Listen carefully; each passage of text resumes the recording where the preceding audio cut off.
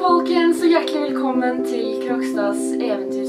Nei da, men klokka er 11 på kvelden, øh, og jeg hadde veldig lyst til å svare på noen spørsmål, for det er veldig lenge siden jeg har gjort. Jeg har ikke så veldig mye planer, så derfor så tenkte jeg at prøver du deg ved å bare ta ut strikken fra håret og se hvordan det faller, og så driter du sminken, og så har du på deg den slafseste genseren du har. Dekk til den skyttende senga di med et pledd, og sett en bamse i hjørnet, så blir det bra. Hei, folkens! Yes, da kjører vi i gang med en Snapchat Q&A. Det er, jeg vet ikke hvor lenge siden det er nå, to-tre måneder eller noe. Eh, og det er veldig mange som eh, spør etter spørsmålsvideoer, og det her er egentlig en sånn liten greie jeg egentlig har lyst til å slutte med. Mange av de videoene her er de videoene dere spør mest etter, pluss at det er en måte for oss å bli litt kjent på da.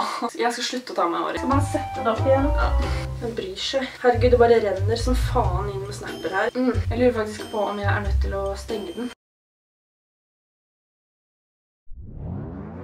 Bare renner litt som et helvete her, så jeg må stenge den. For at nå... Å nei, den klikker! Snappen min klikker! Slutt å sende! Ah, snappen min klikker! Fuck, fuck, fuck, fuck! Åh, jeg blir så stresset. Nei, ikke mine venner. Ah, jeg må gjøre sånn, ikke sant? For jeg må trykke på tannhjulet, men jeg kommer meg faen ikke til der. kommer jeg meg til tannhjulet. Ok, fint. Ah, det kommer fremdeles inn! What the fuck? 192 snaps! Jeg har hatt den åpen i fem min, bare. Fem min! Det kommer fremdeles inn snaps! Ok, jeg må slette masterstoren min. Jeg må slette masterstoren min. Folk sender inn... What? Går det an? Kan de sende inn enda? Å, jeg får, jeg får panikk. Jeg får, serr, jeg får serr panikk. Jeg får ikke det her vekk. Det kommer nye personer hele tiden. Jeg får ikke til å slette masterstoren min engang. Jeg, jeg får panikk, altså. Jeg får serr panikk. Dere kan jo ikke sende meg lenger. Jeg skjønner faen ikke et piss. Jeg har tatt på mine venner. Der stoppet det. Oh my god. Det stoppet nå. Ok, ok, nå har jeg roet meg. Ok, der ser dere hvor lite som skal til for at jeg blir panisk. Manisk, hva heter det? Ja, jeg takler sånt veldig dårlig da. Ok, greit. Jeg skulle egentlig filme den skjermen her, sånn at dere liksom kunne få se liksom på siden her, hvor liksom dere får se dere selv. Men så gikk ikke det, jeg fikk det ikke til. Så skal vi bare kjøre i gang.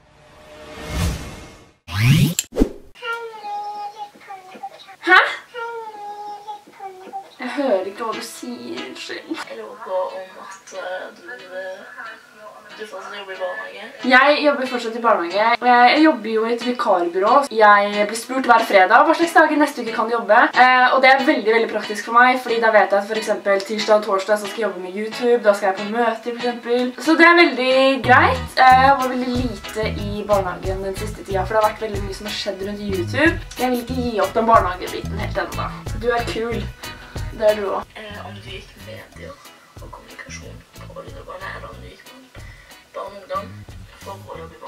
Jeg gikk ikke mediekommunikasjon. Jeg gikk først restaurant- og matfag, fordi det var den eneste linja jeg kom inn på, fordi jeg sugde på ungdomsskolen. Så gikk jeg design og håndverk, og design og håndverk, jeg vet ikke om det er sånn hele landet, eller om det bare er der jeg kommer fra, så er det en, et kryssløp, kalles det, over til barn og ungdom. Siden design og håndverk er sånn barnegreier, du driver mye med hendene, jeg vet ikke. Men det er i hvert fall et kryssløp da, over til barn og ungdom, så da gikk jeg på barn og ungdom. Her vet jeg faktisk ikke, men jeg klarte ikke å fullføre skolen. Eller sånn halvveis i løpet så var jeg borte 80%, tror jeg. Når høsten var over, så fikk jeg melding av læreren min. Hei Nelly, jeg bare lurer på, har du slutta? Så da tok jeg eh, kontakt med rektor og så videre, og noen fra barnevern og sånn, og sa det at skolen var veldig vanskelig for meg, så derfor så ble det lagt opp et spesielt løp da, at jeg bare skulle ta yrkesfagene, og så skulle jeg liksom ta realfagene via eh, lærekandidat i barnehage, på en måte da. Det var liksom sånn jeg startet i barnehage. Åh ja, det er veldig mange som også lurer på om jeg kan begynne med å ha måned, eller vloggmåned igjen. Eh, og det er noe jeg har tenkt veldig på, men ikke akkurat nå, fordi jeg vet ikke, jeg føler meg ikke mm, mentalt stabil nok. Kan man si det? Jeg har eh, falt litt tilbake igjen og er eh, mye lei meg for tiden. Og derfor så tenker jeg at eh, jeg ikke vil vlogge da. Fordi for det første så tar det ekstra på, og for det andre så blir det kjedelig fordi jeg gjør veldig lite. Jeg, skal si ifra, fordi jeg elsker jo å vlogge. Jeg kan for eksempel starte å ha ukesvlogger da. Liksom prøve meg sånn sakte, men sikkert frem da. Og så setter jeg sånn, pris på at dere liker vloggene mine, fordi jeg personlig selv synes de er dritt. Og jeg vet ikke hva jeg kan gjøre for å få meg til å synes at de, for å få de bedre på en måte. Men jeg stoler på dere, og når dere sier at dere liker vloggene mine, så hører jeg på det. Hva synes du om YouTube-communityet i Norge? Var ikke det Kasper? Min oppfatning av det er veldig bra, fordi jeg har flere ganger vært på fester, og nå tar jeg liksom litt ut av kontekst her, men sammen med flere forskjellige nettverk, og alle kommer godt overens med de jeg i hvert fall har møtt på og snakket med. Altså fra mitt perspektiv, øh, så synes jeg at det er ganske greit. Eh, Men så har man jo selvfølgelig enkelte youtubere som er litt på, som prøver å lage dårlig stemning, men det personlig er ikke noe jeg gidder å bry meg noe spesielt om, da. Men communityet der på en måte, det som omhavner meg, på en måte, da, det synes jeg er eh, veldig greit, faktisk. Det var faktisk et veldig morsomt spørsmål. Favorittreklame? Jeg vet ikke, jeg, jeg synes de reklamene hvor du, de du ser på YouTube, hvor eh, det der er used condom, der hvor ungene blir helt sånn gale på butikken og sånn, det synes jeg er veldig kult. Jeg liker sånne reklamer, sånne, der, eh, sånne sarkastiske reklamer, synes jeg er veldig gøy. Ellers så synes jeg også sånne reklamer som er dubba noe helt for jævlig dårlig. Det synes jeg er humoristisk å se på. Sånne som egentlig snakker engelsk, men så er det en dårlig skuespiller fra Norge som har dubba stemmen, og så blir det helt, ja. Om du drev med noen sporter da du var liten. Hva jeg kaller, Du var dritsøt, forresten. Hva jeg kaller fansen min. For det første, jeg liker gode fans. Jeg prøvde meg på hva var det? Jeg nevnte i en video at jeg skulle kalle dere for cola-korker, men det ble så cringe at jeg eh, droppa det. Jeg vet ikke. Sporter da jeg var liten? Yes! Jeg drev med turn i åtte år, så drev med fotball i et par år, så drev med håndball i et halvt år, så drev med tennis, squash, badminton, dans, svømming, kor, teater, friidrett. Det er de jeg kom på nå. Elleve forskjellige ting. Det er ganske strekk. Jeg.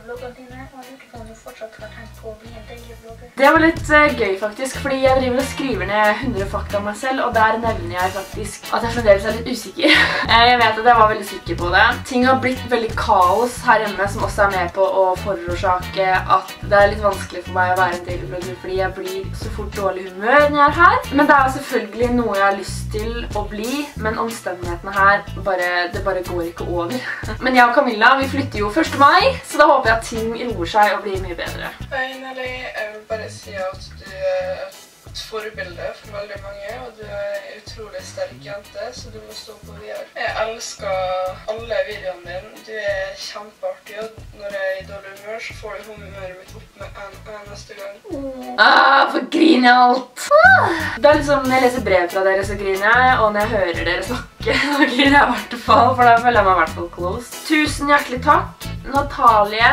Og går det bra med deg? Ja, det går veldig bra med meg. Jeg hørte ikke det første du sa, det er derfor jeg ikke svarte på det. Men det går veldig, det går, det går veldig bra med meg. Sånn generelt så går det dritt. Men det er mye småtteri som gjør at ting går veldig bra. da. Eh, og så er det ting jeg gleder meg som jeg håper går gjennom. Som jeg kommer til å fortelle dere om så fort jeg får lov. Så stay tuned. Hva er ditt største mål med YouTube, var det det du sa? Så er det å kunne nå ut til så mange som mulig med forskjellige ting som jeg selv synes er viktig å prate om. Fordi jeg føler at jeg har ganske bra verdier da. Alle synes vel de selv har bra verdier, men jeg føler på en måte at når jeg får så mye bekreftelser da, på det jeg prater om, at det er veldig bra, eh, og det har hjulpet veldig mange, så vil jeg på en måte prøve å hjelpe flere da. Eh, både med psykisk helse og det å kunne være seg selv, like seg selv. Ja, ja. Tenk, tenk, tenker de var greit. Hei, om du hadde noen morsomme planer for YouTube som du skal ha tenkt å gjøre i 2017? Oh my god, du er utrolig pen! Wow! Thank you! Og nå har du morsomme planer. Vet du hva, skal jeg si ting? Jeg føler at jeg er den eneste youtuberen som ikke har snakket om mine planer på 2017. Eh, og det er rett og slett fordi at jeg er et veldig rotete menneske. Altså, jeg er sånn, jeg legger sjelden planer, jeg har sjelden mål, jeg føler. Jeg skriver aldri ned ting jeg må huske på. Jeg bare, jeg bare, jeg bare lever. Altså, jeg bare, og jeg føler på en måte at det er den jeg er. Jeg er ikke, jeg er ikke noen som setter liksom målet. Selv om min største YouTube-fave liksom er så organisert og liksom, altså... Jeg vet ikke, jeg bare får meg til å sette meg ned og skrive hva er det jeg egentlig vil, hva er det jeg vil, hva er det jeg vil med livet mitt, hvor, hvor vil jeg hen, hva vil jeg oppnå. Det er jo selvfølgelig en, en ting som popper into mind av og til, men eh, jeg, ja, nei, nei. Jeg, jeg kjører det løpet jeg alltid har kjørt, føler jeg. Altså det jeg tenker på er jo at jeg skal fortsette med det jeg gjorde fra slutten av 2016, altså litt sånn at jeg skal på en måte ikke ha så jævlig mye random dritt på kanalen. Eh, men at jeg på, en måte skal finne ut av hva dere liker å se på, hva som faller mest i smak hos dere, osv. Men nå som jeg fikk stativ til jul, så skal jeg jo begynne å lage litt mer sketsjer. Men som sagt så er kollektivet her er liksom litt sånn i ferd med å falle sammen. Det er veldig vanskelig å filme som jeg vil her, føler jeg. Jeg kommer selvfølgelig til å oppdatere dere. Hvor lenge har jeg tenkt å bo i kollektivet? Det kollektivet her skal jeg og Camilla bo i til 1. mai, fordi da blir vi sagt opp, på det sier. si. Fordi vi bråker så jævlig mye. Neida, fordi leiligheten skal selges til 1. mai, så skal jeg og Camilla flytte. Yeah! Så hvis du har en søster eller bror eller en forelder eller noe som bor i Oslo som skal leie, så let us know. Hvordan komme på andre tanker når det har skjedd et eller annet trist i livet ditt? Jeg mistet hunden min i dag, og jeg gråt i mange timer. Nei. Vet du hva, kjære Tessa. Det er det du kaller deg i hvert fall. Åh, jeg fikk så vondt av deg. Jeg vet så inderlig godt hvordan det er å miste et dyr, og det er helt for jævlig. Det verste man kan gjøre, det er jo å stenge seg inne. Eh, nå er det jo heldigvis ikke bare du som går igjennom det, men også sikkert foreldrene dine, eller om du har søsken og sånn. Og da kan man jo på en måte snakke om det sammen, da. Gå ut, eh, finne på ting. Altså, nå er det sånn at de fleste, eller alle takler jo sorg forskjellig, liksom. Gå ut en tur, heng med venner. Jeg er i hvert fall sånn at jeg takler sorg ved å bare ligge alene og grine, liksom. Men jeg merker jo det at bare med en gang jeg kommer meg ut og begynner å prate med venner, så får jo de meg over på andre tanker. Hvis du hadde hatt muligheten til å reise hvor du ville i hele verden, hvor ville du ha reist, og hvorfor ville du ha reist der? Oi, du høres faktisk ut som en person som kommer til å ta over verden. Det var veldig sånn der Gud fra oven. Hvor i verden ville du reist til hvorfor? Jeg ville reist til LA igjen, fordi LA. Hvis det er et reality-program du ville ha meldt deg på, hvilket program ville det vært? Kunne ikke alle begynt å prate sånn her, for da hører man faen av hva dere sier. Et reality-program. Jeg ville vært med i Big Brother, og det har jeg sagt i sånn to år at jeg ville meldt meg på. Fordi det er kult, og jeg tror at jeg kunne trengt en sånn utfordring i livet.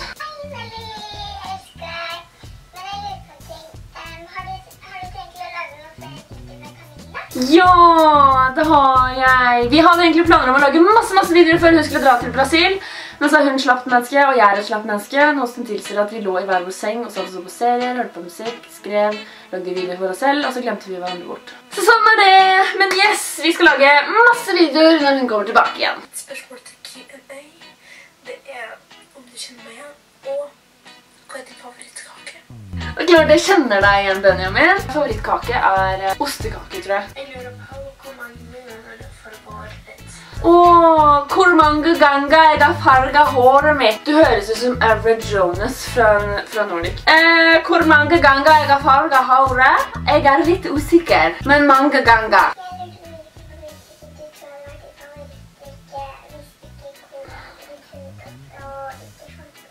Favorittdrikke utenom cola hvis ikke cola hadde funnes opp? Burn. Lett. Det er en lett andreplass. Jeg er fryktelig glad i Burn. Min største drøm er å bli frisk. Wow, det var depressivt. Ellers så er min største drøm om å bli en av Norges største youtubere, hvor jeg ikke bare er en youtuber som snakker om dritt og som bare gjør ting som ikke er viktig.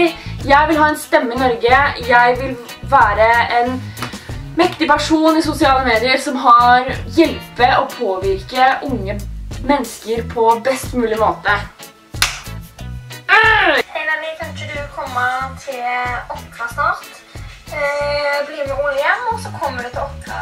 Skal si, det er faktisk planen min å reise til eh, Åkra den 24. februar, eh, men det er noen greier som er litt fucka med pengene mine. Så jeg vet ikke om jeg har råd, men planen min er å reise liksom, til Åkra, Karmøy, den 24. februar, hvis jeg gjør det. Yeah, for kusina mi bor der, og så den 24. Eh, har eh, Ole Johannes ferie, så da skal jeg joine han. Fordi, liksom, fordi jeg kan ikke finne fram på Gardermoen alene, fordi jeg suger. Hvordan hårfarge på gutter er du mest glad i? Blond, brunt, uh, eller ginger? Uh, ja. Svart. Når er det du skal bytte hårfarge til en annen farge? Hår. Fra rødt til et annet. Er det det som legger til? Å, Pusika! Eh, når jeg skal farge håret mitt til en annen farge, vet du hva jeg skal si? Jeg vil faktisk farge håret mitt i andre farger, men jeg tør ikke, fordi jeg er ikke 100% sikker. Og da er det kjipt, fordi rødt er så vanskelig å farge håret tilbake igjen til, så ja. Hallo, jeg lurte på hva blir det beste av katt eller hund? Du må være ny på kanalen. Jeg er så crazy cat lady som det går an å få det. Har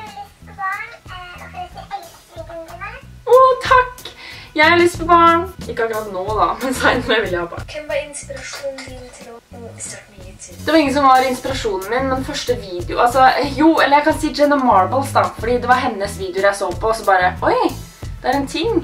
Og så kom det opp norske personer på siden, og jeg bare, oi, det er en ting i Norge! Wow, så kanskje Jenna Marbles. Har du lyst på en tatovering, og i så fall hvor vil du ta den, og hva skal det være? Jeg har lyst på nye tatoveringer. Jeg har lyst til å dekke hele kroppen min med tatoveringer. Unnskyld alle familier som sitter og ser på, men ja, det har jeg lyst på. Jeg skal ha sliv på begge armer, noe som vil si en, dat en datovering. En tatovering som starter her og slutter her i ett, liksom, på begge armer. Eh, og så skal jeg ha en sangtekst fra Simple Plan her, fordi Simple er mitt favorittband her, og så vil jeg ha en ørn som går oppover her.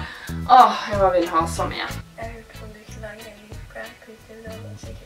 En ny prank? Har jeg laget prank på YouTube? Jeg har laget en prank, og det var sånn ett og et halvt år siden, hvor jeg sa til dere at jeg skulle slutte med YouTube. Men jeg suger på pranker, tro meg. Jeg har prøvd å tenke hva faen slags prank kan jeg gjøre. Jeg har tenkt på én ting, og det er sånn at jeg skal irritere Camilla med det samme hver dag i en uke. Men jeg suger på pranker, men kan ikke dere komme med sånn pranketips? Føler du at du har blitt en sterkere person etter at du begynte med YouTube? Uh, nei, jeg, vet ikke, jeg vet ikke om jeg vil si at jeg har blitt sterkere, men jeg har lært å kjenne meg selv bedre. Noe som har fått meg til å tenke etter hva er det jeg vil med livet mitt. Ja, så ja, kanskje. Det var de spørsmålene jeg rakk å svare på nå. Nå blinker kameraet mitt. Det er snart tom forskere! Jeg tenker at jeg gir meg der. Tusen hjertelig takk for alle spørsmål. Jeg setter kjempestor pris på alle, og beklager for at jeg ikke tar med alle, men det er veldig mange som stiller veldig mange spørsmål på rad. Eh, og det blir veldig rotete for meg. Beklager. Eh, men jeg håper i hvert fall at dere likte videoen. Tusen hjertelig takk for alle de søte ordene dere sier. Hvis dere likte videoen, husk å legge inn en tommel opp, og så snakkes vi i neste video. Ha det!